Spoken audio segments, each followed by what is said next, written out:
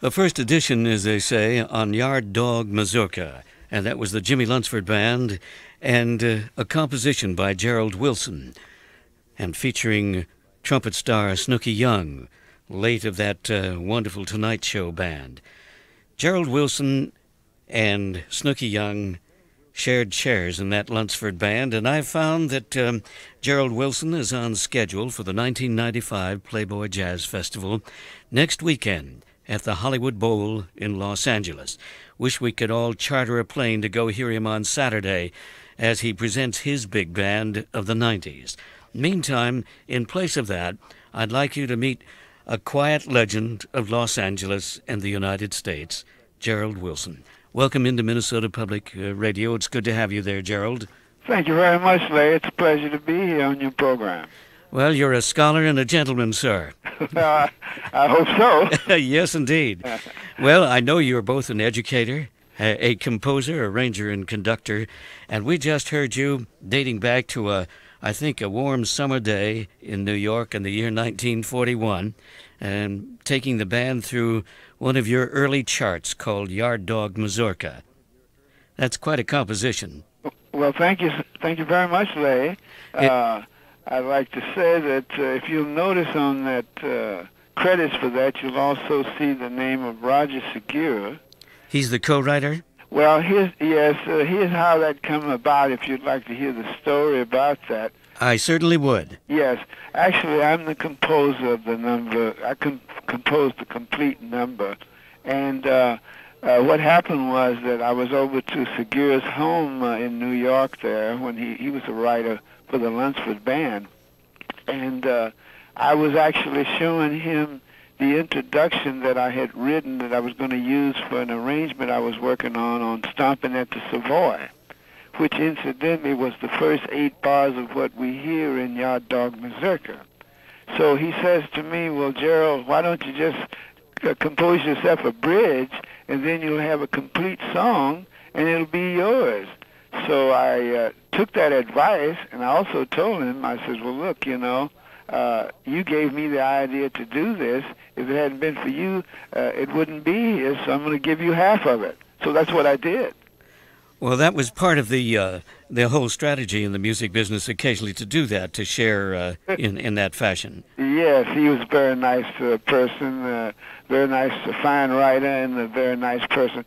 And he was uh, always willing to give you a helping hand uh, if you'd ask him something about music. And he's a very wonderful fellow. In fact, he just celebrated his birthday here about. Uh, well, I think it's even coming up this the end of this month, if I'm not mistaken because I said a few words on video here uh, talking about uh, Roger. So he's still living. He's an educator too, start, taught here in the school system. I was also the president of the uh, uh, Teachers Union here in Los Angeles. Well, that is so good to know that uh, you uh, and and Roger are uh, contributing to the whole musical scene. Well, we're trying, yes. Gerald, when did you first join the Jimmie Lunceford Band? Okay, I actually joined the Lunceford Band uh, lay in uh, June of 1939, and that would have been probably around June the 14th, maybe uh, a few days before that even. But I can remember exactly nearly what it was due to the fact that uh, that the first job that uh, I went with the band on I didn't play that night because Sy was still in the band, and uh, it was a dance you took in Sy Rocky Oliver's. Mount, North Carolina, and it was called a dance for the Juneteenth celebration, which they have out through the Southwest there, and uh, that's how I remember about just exactly when it was. Well, the Juneteenth celebration will take place here too, in this part of the world, uh, coming Uh-huh. up next weekend. Uh huh. You took then you took Sy Oliver's place. Yes, I did. Uh huh. So I took Sy Oliver's place, and, And he went to with- Dorsey. with uh, the band about I guess about six months before Snooky came in the band. and that's Snooky Young. Yes. And today you and Snooky work together in your own band. Uh, well, yes, Snooky works with me. He works with uh, other people too around the area here, as you know.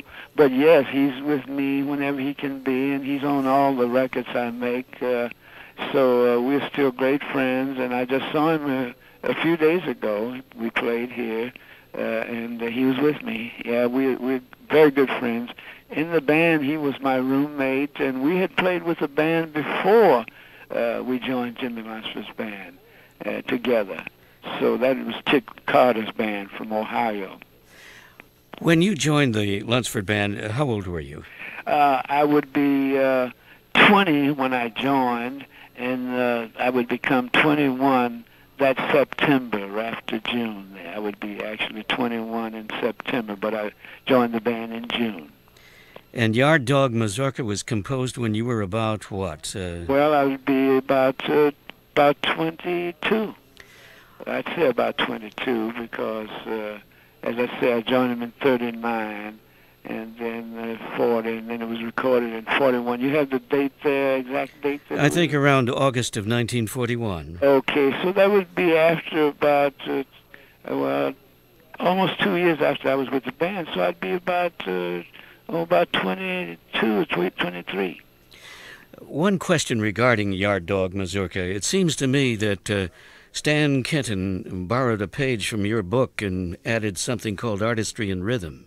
Yes, but uh, actually uh, it was called Intermission Riff. Intermission riff, rather, yes. Right, and that, of course, was uh, composed by a trumpet player that played in Stan's band by the name of Ray Wetzel. And Ray, I knew Ret- Wetzel uh, myself. I knew him as a had met him there in New York, and uh, I guess he liked that little part that we were talking about, which was about the first eight bars, and uh, so uh, he liked it enough to borrow it. Yes, and those things happen. I I later learned, you know. Yes. Yes, I at first I was a little taken away for a few for a little bit, and then I, uh, someone explained to me that well, it's perfectly legal. Uh, it's done. You can do it if you like, and uh, that's the copyright law. Yes. So he was well within his uh, rights. He only took so many measures or Yeah, bars. eight, uh, eight bars. The legal amount. Al- Although you, you, you, you have to disguise the seventh bar. I mean the eighth bar. Yes. So you can actually use seven bars, uh, almost verbatim, you know, Oh, without any problem. what a thought. Yeah. There goes a royalty. I'll, I'll take I'll take sophisticated lady. All right. I'm talking with Gerald Wilson on the Jazz Image by way of Minnesota Public Radio. And Gerald Wilson is one of those quiet legends who lives on the West Coast, conducts the Los Angeles Symphony on occasion.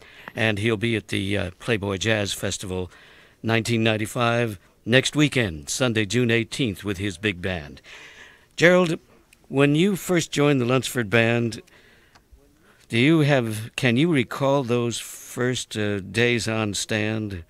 What it was like for you? yes, uh, Lay, I can, and what I'd like to do is before that, you you just said that I conducted the Los Angeles Philharmonic.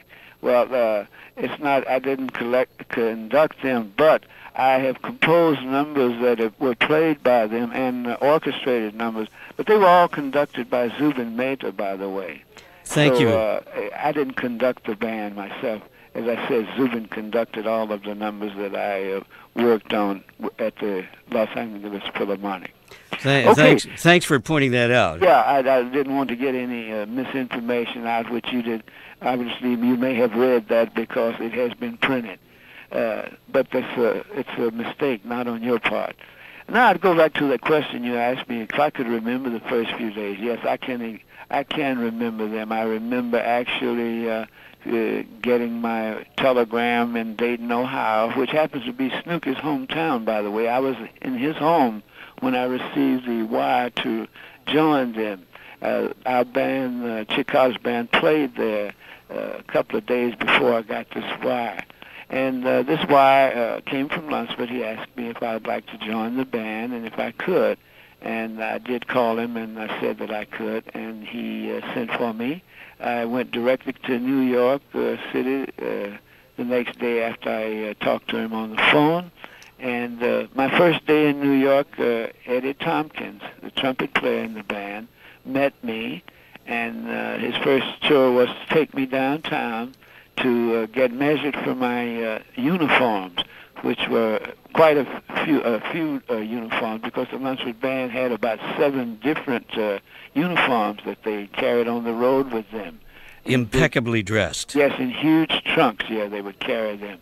And uh, however, the first uh, two weeks, uh, I didn't play in the band at all. Sy was still in the band and was working out his notice, also giving me a chance to be able to listen to the band there uh, during those evenings and uh, wait for my uniforms to uh, get made and sent to me, which he didn't want you on the bandstand without your uniform. And as I said, Sy was still in the band, so it was advantageous for me that he was. It helped a lot by being able to sit there and listen every night. So those first, first few nights were like that, uh, uh, just waiting to play and uh, kind of getting uh, used to the band, uh, uh, the things that they did. And those are, the first few days. As a trumpet player and um, a developing arranger, that must have been a magnificent thrill once you sat in the section. Yes, I was. Uh, I was thrilled to death, and I was. I was also scared to death because this was quite a quite a band, and uh, uh, they were right there on top. They were playing these big uh, uh, dances in these big places, and uh, I wasn't sure that I'd be able to uh, actually make it, but. Uh, uh, I was able to, and uh, later everything came out fine. But it, those first few days were really thrilling. I enjoyed every moment of it, and uh, uh, Sy and all of the guys helped me all they could. It sounded like a, a great team, really. Yes, the band was a wonderful organization. They were wonderful uh, people, uh, first of all, as human beings and they were fine musicians on top of that. And again, I said they were very uh, uh, nice to to people that would come in the band. Uh, if you fit in, they were glad to have you, and they'd do everything they could to help you make it.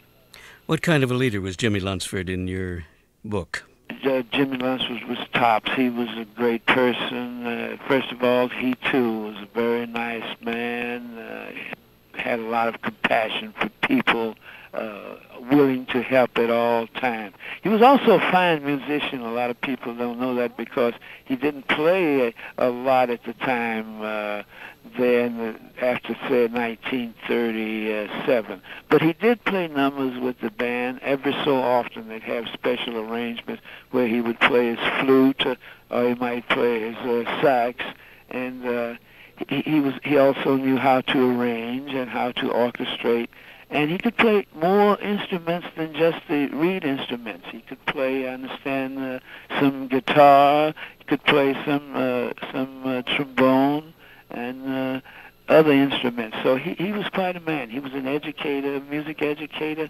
also. So he he was very fine. He was a student of Paul Whiteman's father, and I think he, he was on the staff, of course, of that famous Memphis school, Manassas High School, and later Fisk. Right, uh, that's true. He did study from uh, Paul Whiteman's father, uh, along with Glenn Miller at the time, by the way. That's and interesting. He did teach at Manassas, a school that I attended for two years in Memphis, Tennessee, and his reputation was well uh, formed when by the time I got to Manassas, and we he was a hero there at the uh, high school there in Memphis. When you think about the Jimmie Lunceford Band as you knew it from your own personal experience, and as you look back from 1995 to the 19, late 1930s, what strikes you about the organization? What's is there one vivid memory or one impression? Uh, from the, about the Lunceford Band. Yes. Yeah, from the time that I first even heard them, even before, but even after I was with them. This was an outstanding uh, band that had some really fine role models in it. Of course, Jimmy himself, the leader, but he also had some outstanding musicians that would draw other musicians to the band, and people actually, their talents were so big, like Willie Smith. Willie was one of the greatest uh, alto sax player of all time, jazz, played also lead. He was about one of the greatest lead men of all time. Uh, along with Sy Oliver, of course, we know that how great Sy was. He was uh, the number one jazz arranger during that period. After I joined the band, he is he become number one as one of the great swing arrangers and jazz arrangers of the time. Also in that band was Edwin Wilcox, who was an outstanding uh, pianist, outstanding arranger, composer, and orchestrator. And these people uh, at the head of that ship uh, just kept uh, progressing musically, and also uh, they were excellent uh, musicians on their instruments. People like Eddie Tompkins was an outstanding trumpeter. Paul Webster. They had Trummy Young, and of course uh, Joe Thomas and and Earl Carruthers, uh, Al Norris the whole band, it, it really had an outstanding band there. It's just a thrill to hear them, and also it was a great honor and a pleasure to have been a member of that great band. Classical 99 talking with Gerald Wilson, a member of the Jimmie Lunceford Band from 1939 and on. And today, conducting his own orchestra, he'll be at the 1995 Playboy Jazz Festival next weekend, Sunday, June 18th. Gerald, it has been a privilege to sit in and, and reminisce with you concerning the, the legend of Jimmie Lunceford, celebrating the 93rd anniversary of Jimmie Lunceford's birth last week in jazz history, June 6th. And uh, for you to sit in with us is in this part of the country is just uh, indeed a, a rare look at history. Well, really, Lay, it's really my pleasure and my honor. And of course, you're speaking about your part of the country. I know that it's a wonderful part of the country because I was there uh, a number of times with the Lunceford Band. And uh, I also came back through there with Count Basie back in, in, in 1948, I believe it was, or 49. And it's just a wonderful place. I know all about Minneapolis and uh, that area. It's just beautiful, and uh, I just want you to know it's my pleasure to, to be with you tonight. Thank you very much and have a wonderful weekend, June 18th, Sunday at Hollywood Bowl. Okay, Lay. We'll talk again. Okay, I hope so. And have thank a, you. Have a great week and a pleasant weekend. Thank you. Good night. Bye bye.